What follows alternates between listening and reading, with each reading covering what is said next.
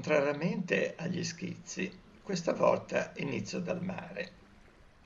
Il motivo è che essendo la parte del dipinto più importante, non voglio che sia influenzata da precedenti stesure di colore di altre parti. Al contrario, saranno queste ad adattarsi alla parte più importante.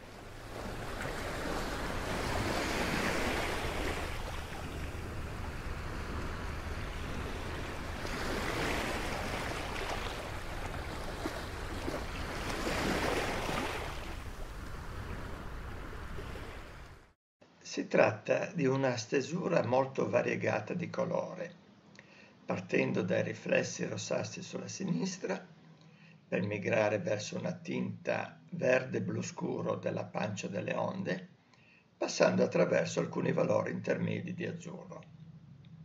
Mi impongo pertanto di non mescolare troppo i colori, soprattutto sulla tavolozza. Sulla carta consentirò la loro mescolanza lasciando che i colori si compenetrino in modo spontaneo.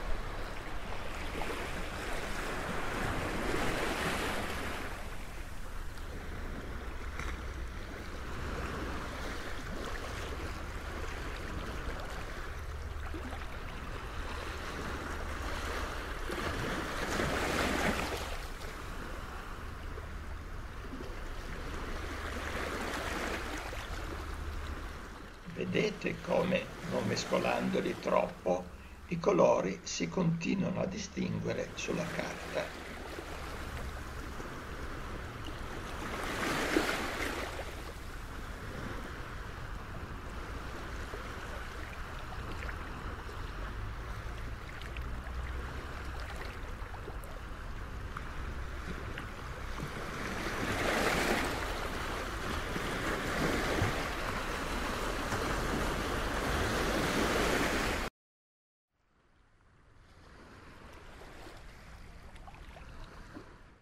Uso una pennellata orizzontale che riproduce il fluire dell'acqua del mare. Ciò mi consentirà di evidenziarne il movimento.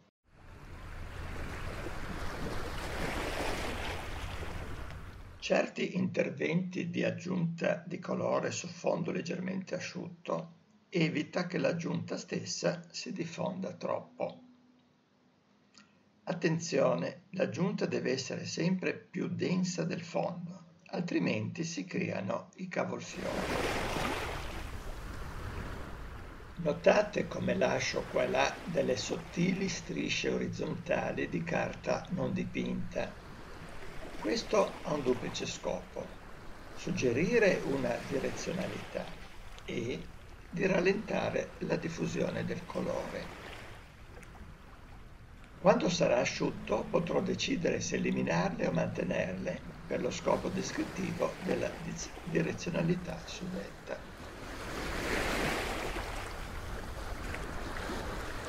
Smorzo l'intensità dell'azzurro con pochissimo rosso.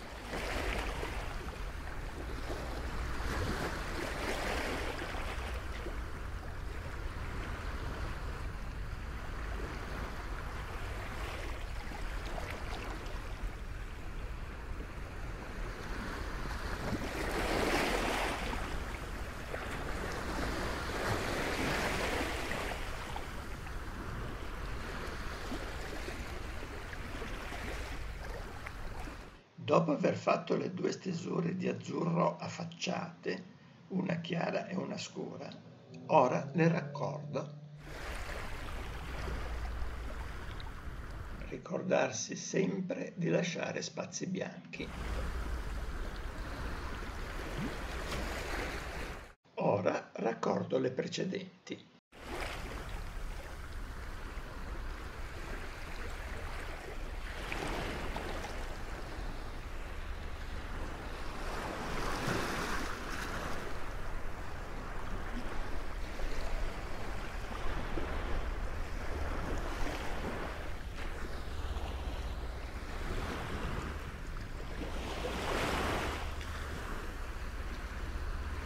Più mi avvicino al primo piano e più intensifico il colore. Questo per dare il senso di profondità. Parto sempre dove il colore è più scuro perché il pennello è più carico e via via vado nelle zone più chiare quando il pennello è più scarico.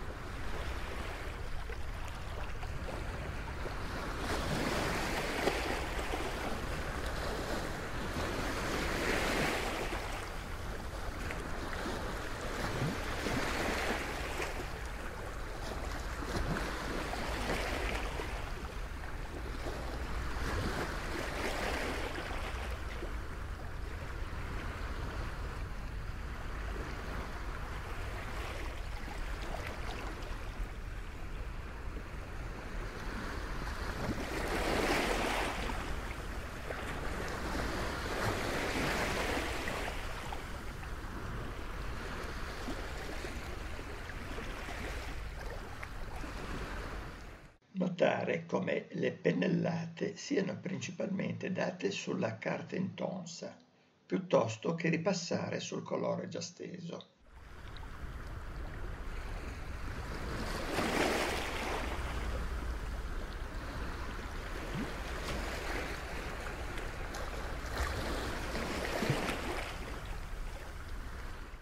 Quando lo si fa, sfiorare appena il foglio per lasciare diffondere il colore. Tecnica bagnato su bagnato.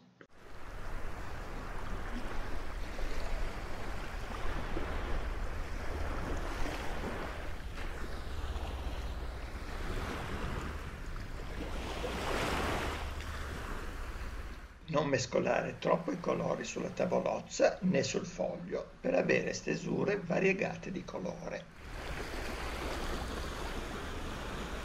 Come sempre è importante la direzionalità.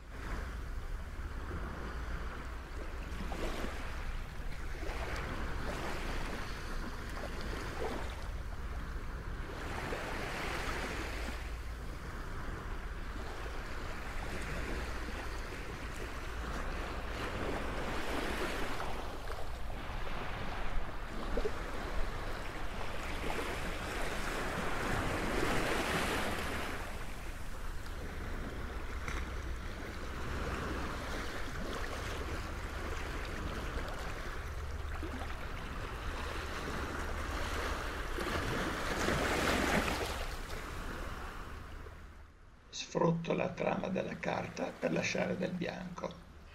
Per far ciò occorre che il pennello sia quasi asciutto ed inoltre deve sfiorare velocemente la superficie, tenendolo il più possibile piatto.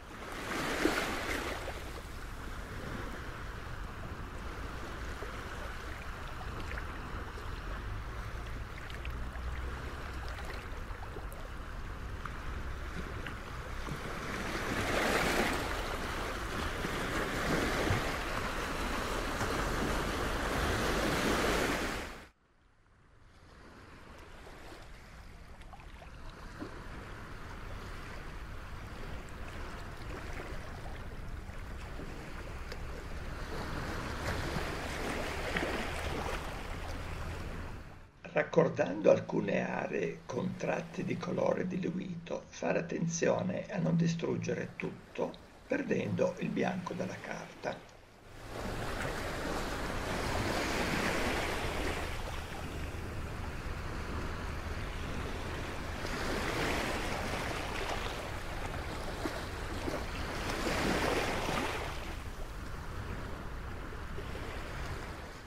Il pennello quasi scarico ideale per dipingere i mezzi toni delle ombre sul bianco delle onde.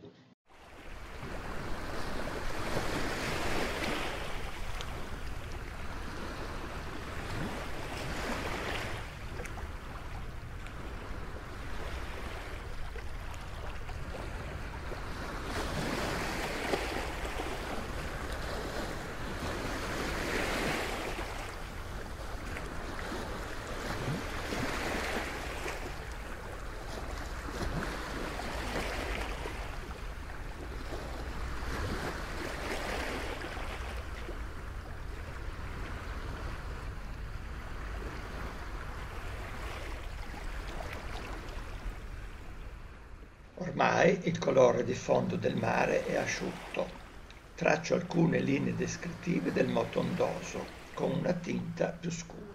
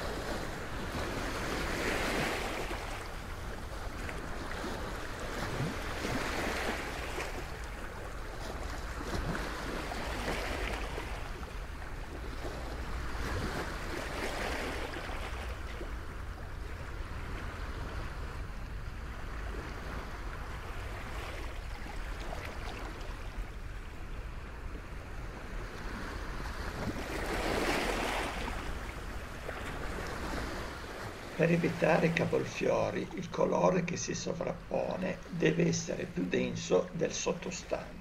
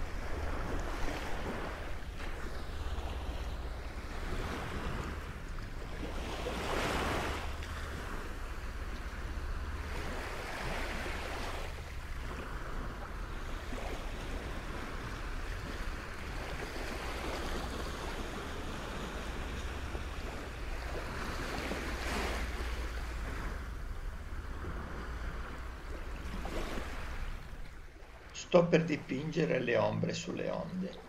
Vorrei sottolineare l'importanza di aver dipinto tutto attorno, così ho la giusta sensibilità per stabilire i sottili sottotoni di questa parte.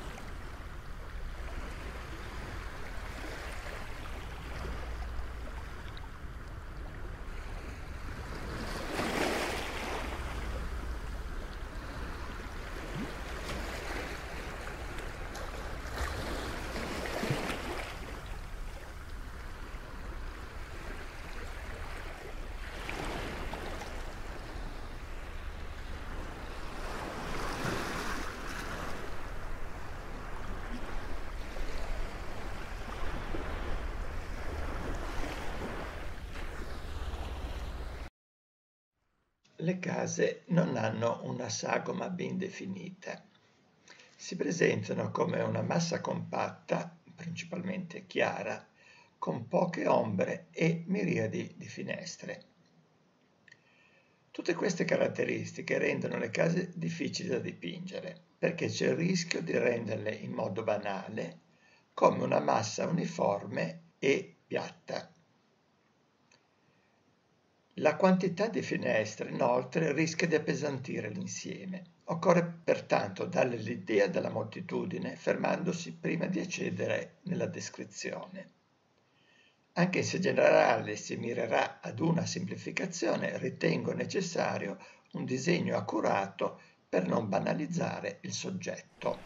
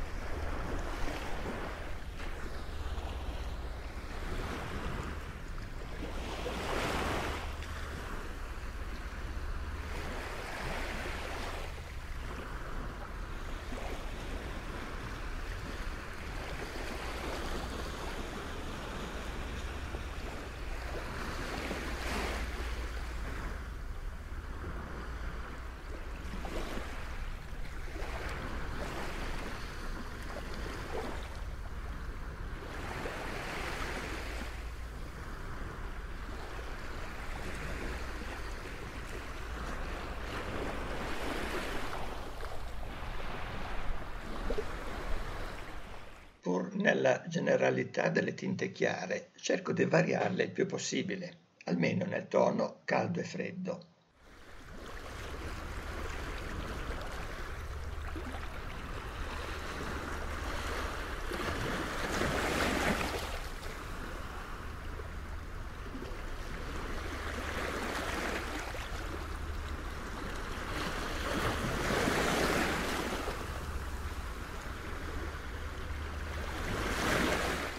Osservando bene il soggetto, cerco di cogliere, per quanto possibile, tale piccole sfumature, talvolta accentuandole un pochino allo scopo di variare il più possibile le tinte. Intanto che si utilizza un colore, si cerca se vi è qualche altro punto del dipinto in cui possa essere utilizzato.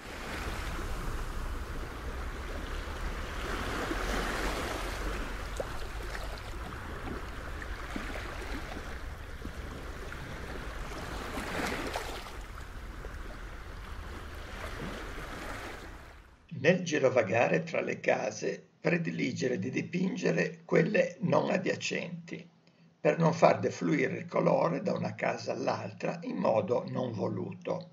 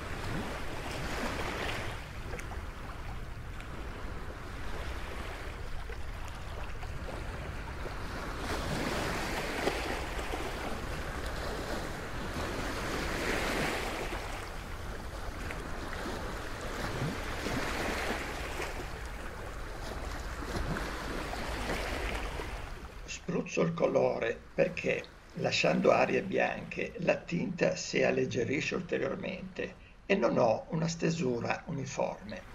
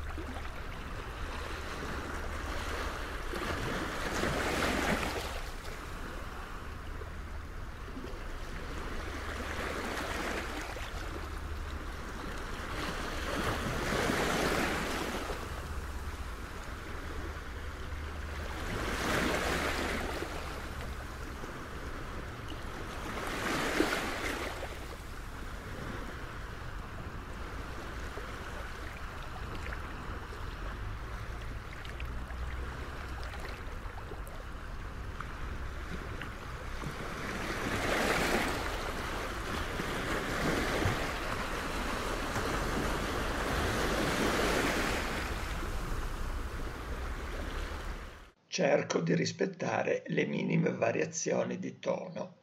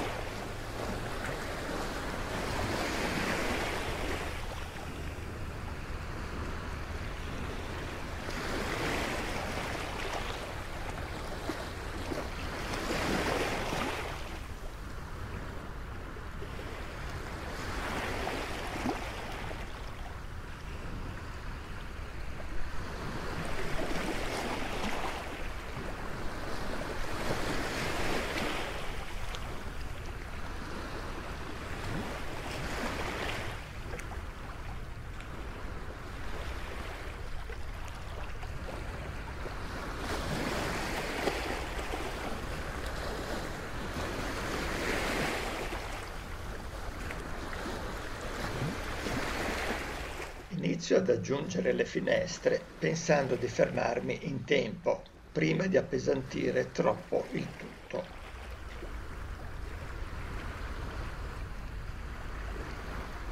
Dipingo per prime soprattutto le finestre che più mi attirano l'attenzione.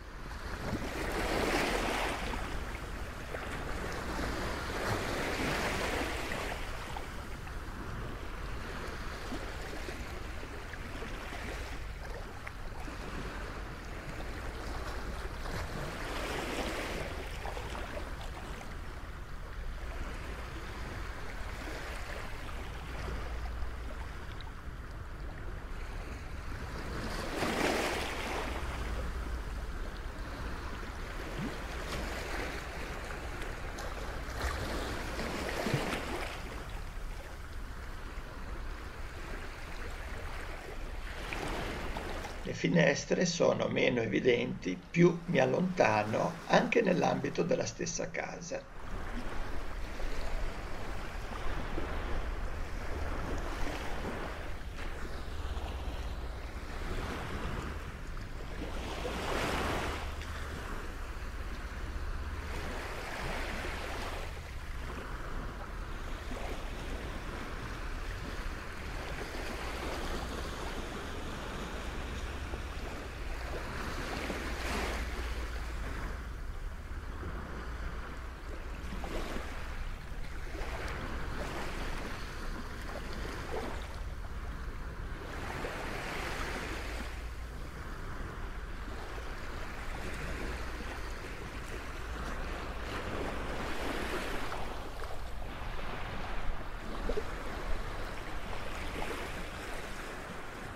Lo stesso discorso di rendere meno evidenti le finestre vale anche per le case che si allontanano dal primo piano.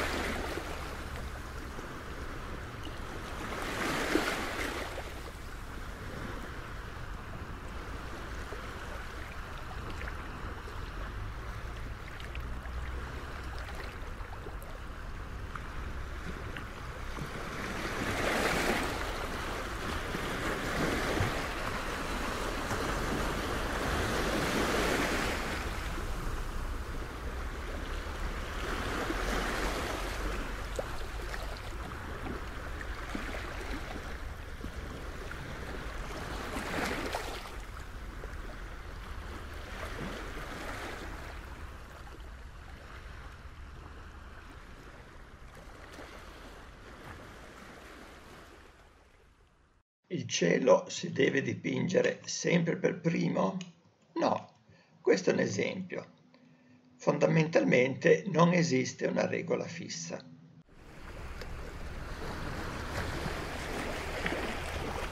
Inizio con una tinta violacea molto leggera per le parti in ombra delle nuvole e lascio alcuni spazi bianchi per le alte luci delle stesse.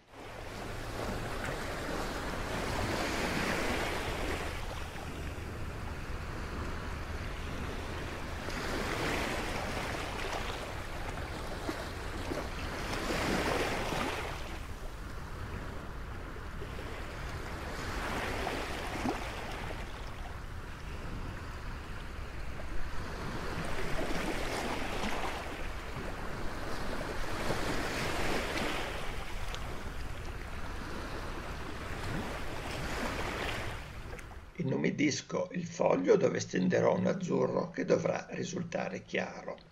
Ponga attenzione a non coprire il bianco predisposto per le alte luci delle nuvole. Tolgo l'eccedenza di acqua.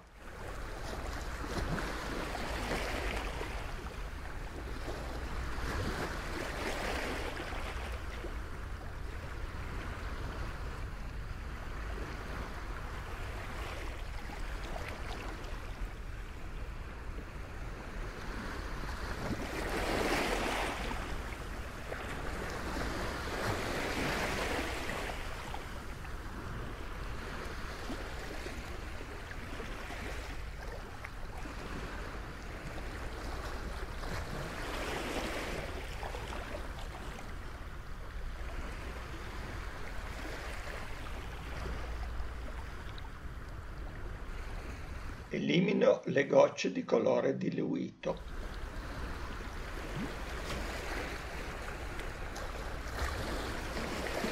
Aggiusto le nuvole lasciando qualche bordo netto e rendendo gli altri morbidi.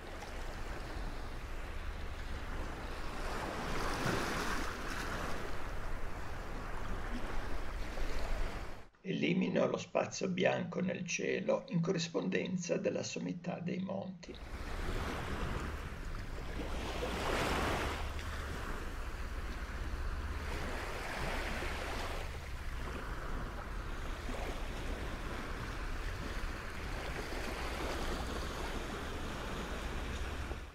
Remore degli schizzi fatti in precedenza, dove ho alleggerito a posteriori lo sfondo per avere una maggiore profondità, questa volta cerco di utilizzare colori molto tenui e non dover ricorrere ad una velatura di bianco.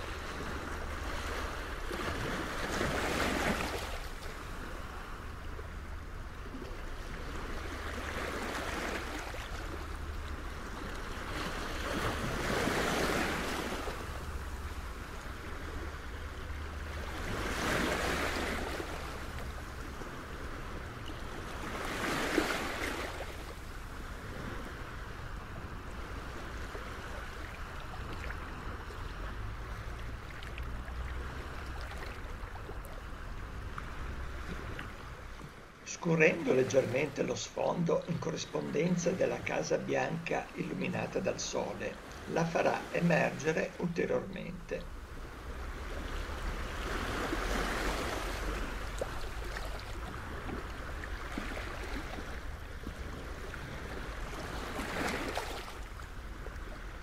Introduco il freddo del blu per esprimere la lontananza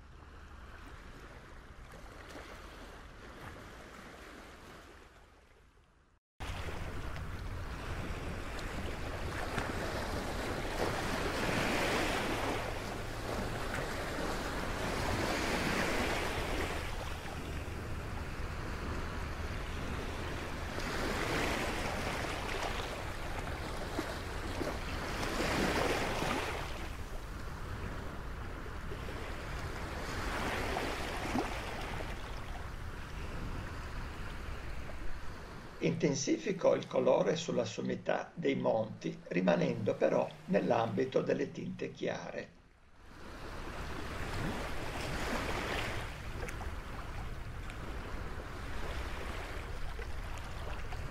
Sfumo la parte centrale dei monti.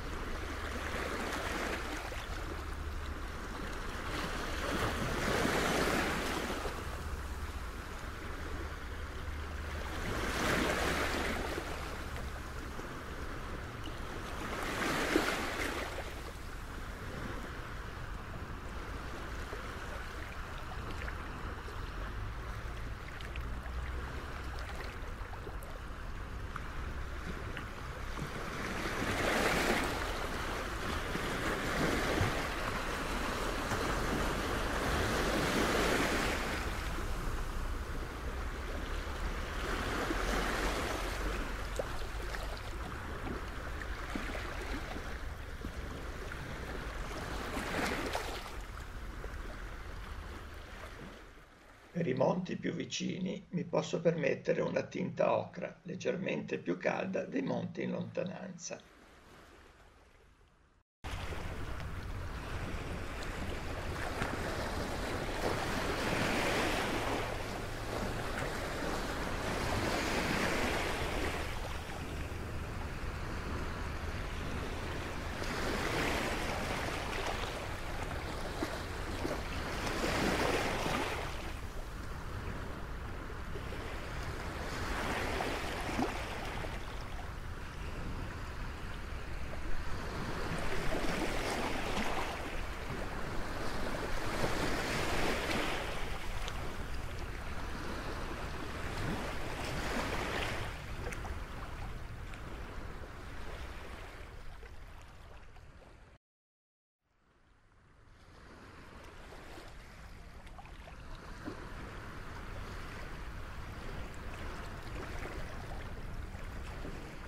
Come si può notare ho usato il mascherante per le alte luci degli scogli. È più comodo, ma non è strettamente necessario.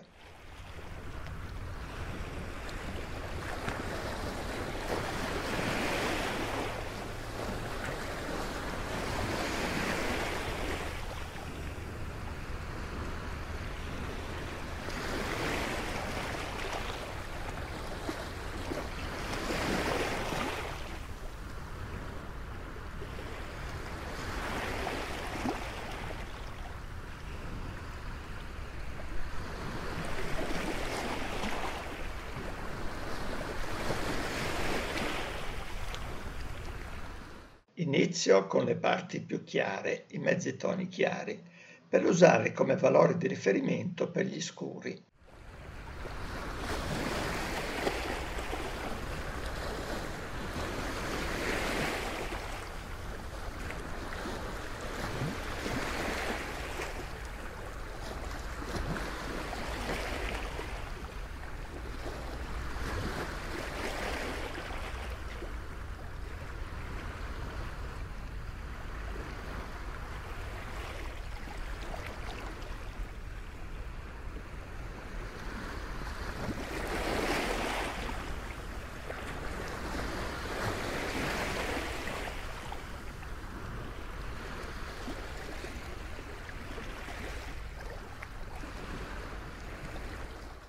Anche per le tinte scure non mescolo troppo i colori per continuare a distinguerli una volta stesi. Diluisco poco le tinte affinché, asciugandosi, non si schiariscano troppo.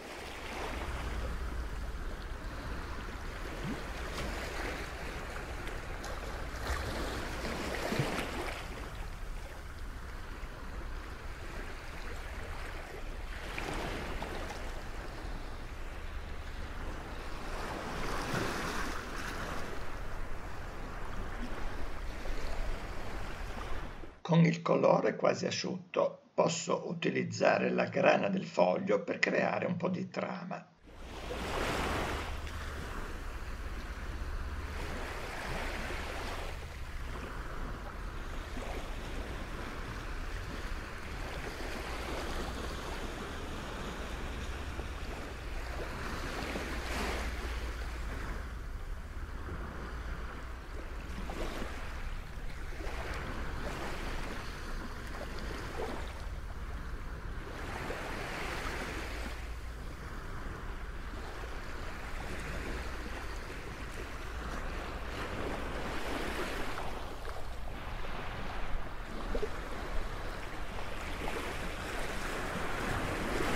Nelle parti più scure uso un po' di grigio di Pain.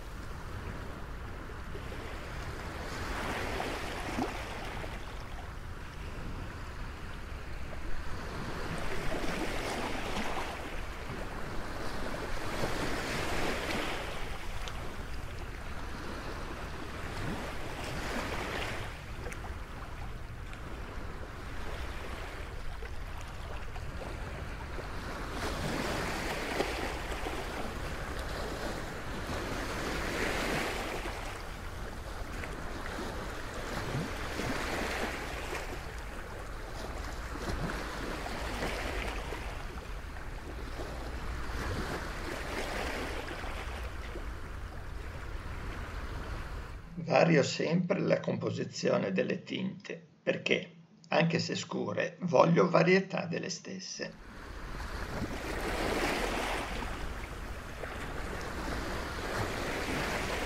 Come si può vedere, la mescolanza dei colori avviene principalmente in modo spontaneo sulla carta, sicuri anche del fatto che le alte luci sono protette dal mascherante.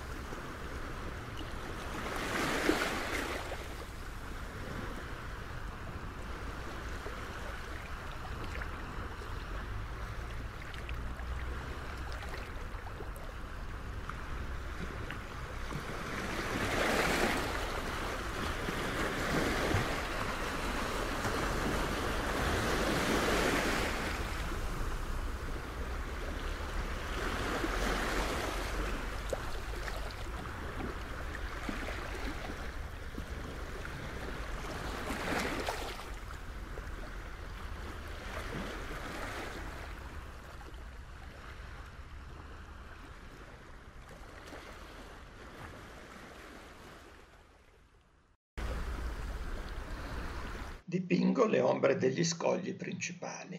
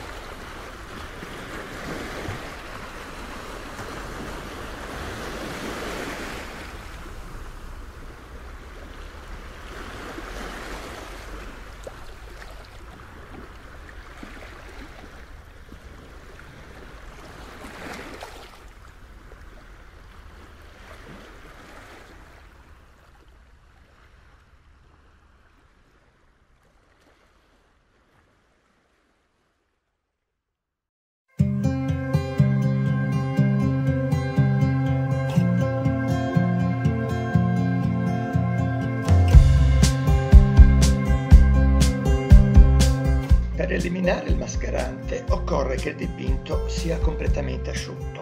Usare un pezzo di carta per strofinarlo via e mai con le mani, perché con la loro untuosità naturale rovinerebbe la superficie in caso di ulteriori stesure di colore.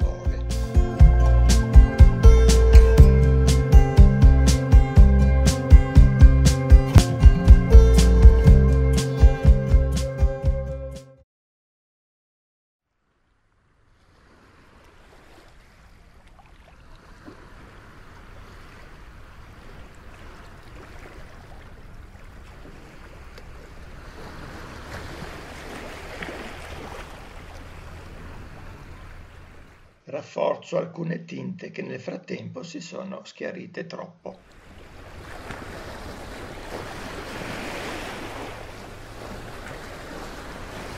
Tenendo sempre d'occhio il soggetto, in questa fase è il dipinto che deve guidare le eventuali modifiche e correzioni, esprimendo le sue esigenze di bilanciamento e completamento. Da un certo punto di vista è la fase più creativa e meno standardizzata.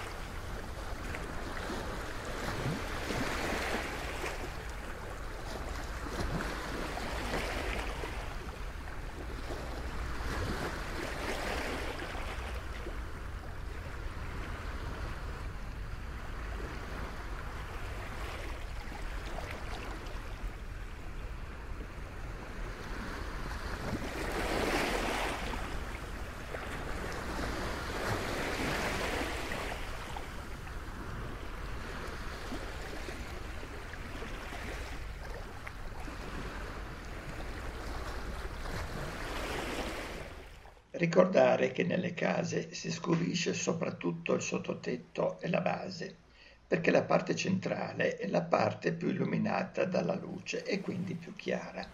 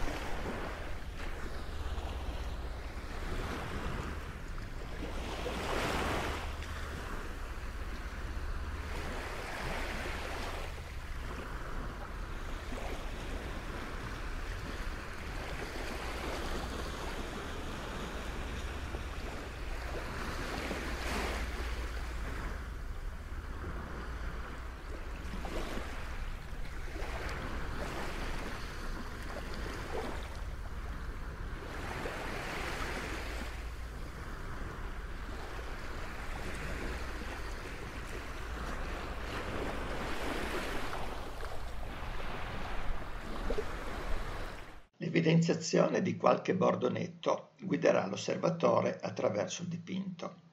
Evidenziare soprattutto gli spigoli di separazione tra ombra e luce.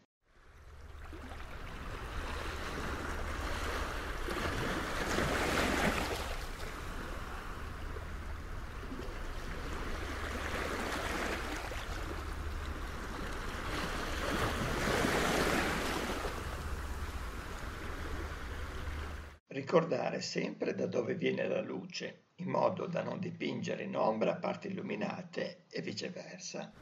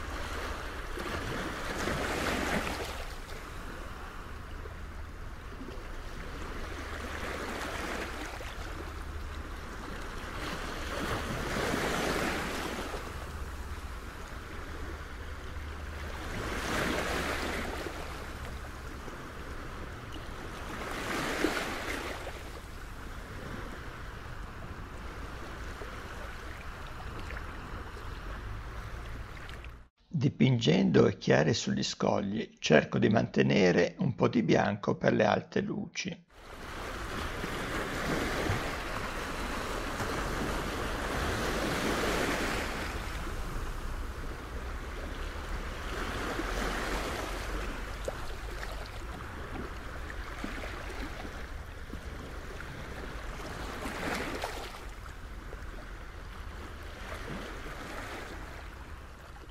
Cerco di dipingere gli scogli con colore diverso. Qui uso una tinta leggermente più calda.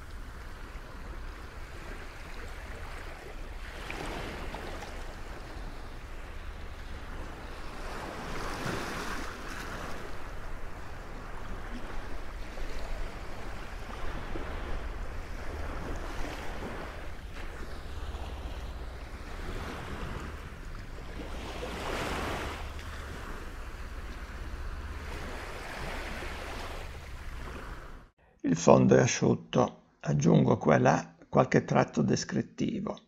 La pennellata in questo caso deve essere pensata e poi stesa senza esitazioni. Non deve essere troppo regolare e leggermente ondulata.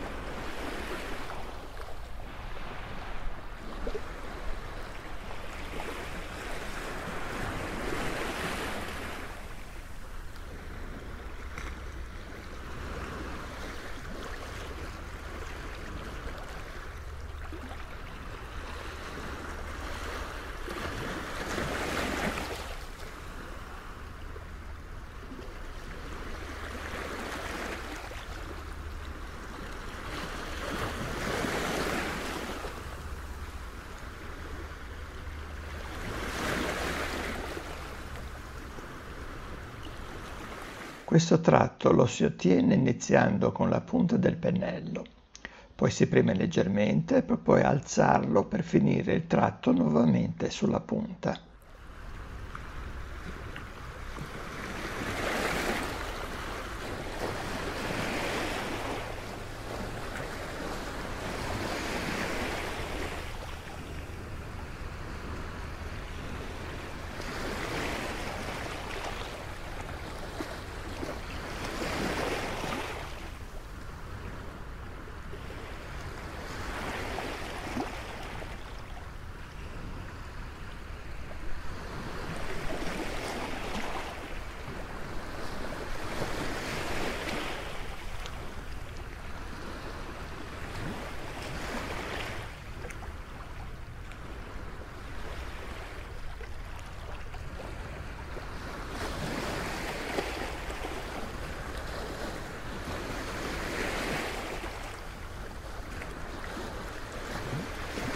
Uniformo questo tratto di mare con una velatura trasparente.